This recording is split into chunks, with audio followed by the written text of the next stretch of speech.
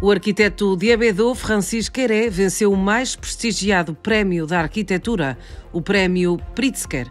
Nascido em Burkina Faso, é o primeiro africano a ser distinguido em 40 anos de história deste prémio.